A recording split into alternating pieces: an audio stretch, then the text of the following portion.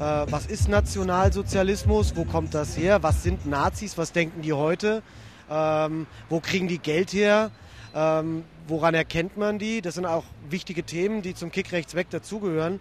Und die Leute, die hier Fußball spielen, sind eben unisono der Meinung, äh, schöner Leben ohne Nazis, kein Platz für Nazis.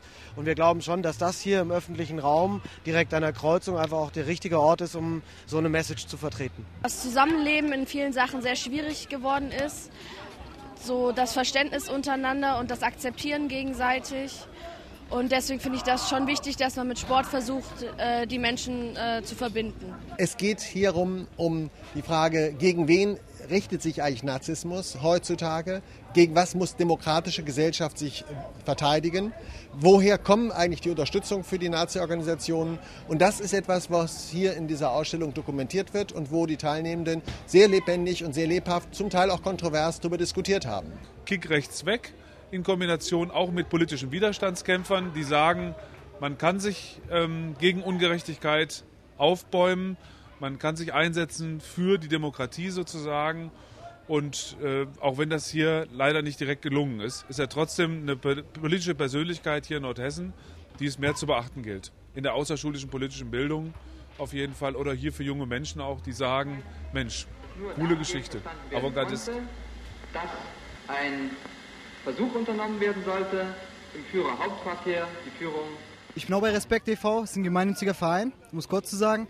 Ich bin mittlerweile der Ausbilder. Wir bilden Jugendliche aus zu Konfliktmanagern. Und Konfliktmanager, um es kurz zu fassen, sind äh, letztendlich Leute, die ausgebildet werden, die Vorbilder in ihren Vierteln werden und anderen Jugendlichen halt zeigen, dass man in der Gesellschaft respektvollen Umgang pflegen sollte. Und natürlich sind wir auch dazu da, in erster Linie Zivilcourage zu zeigen, für den Fall, dass man was sein soll, dass wir auch eingreifen und nicht nur zusehen zwei Minuten vor dem Spiel müssen wir die Regeln festlegen, weil hier wird ohne Schiedsrichter gespielt. Es zählt ja auch Fair Play. Und dann sollen wir das selber regeln, wie viele Spieler spielen. Also Fair Play-Regeln, zum Beispiel jetzt ein paar Regeln, sage ich jetzt mal, äh, Shake Hands vor dem Spiel und nach dem Spiel. Keine Beleidigung, wenn, wenn mal jemand gefault wird, dann wieder aufheben. Wir sind schon zum äh, dritten Mal hier. Die letzten zwei Jahre waren wir erfolgreich zum ersten Platz.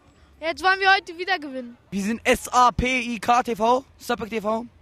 Ja, uns macht Spaß, jetzt ein bisschen zu kicken. Ja, mit anderen Leuten. Wir kennen zwar nicht viele, aber hat schon ein bisschen Spaß gemacht heute.